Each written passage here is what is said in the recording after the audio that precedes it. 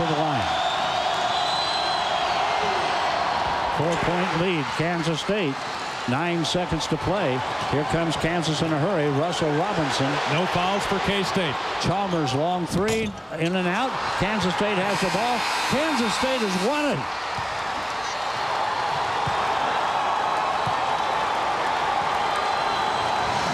My, my goodness. You talk about an unlikely win. Coming into this building, who would have given the guys in the purple jerseys any chance at all against the Kansas Jayhawks, who came in with a seven-game winning streak?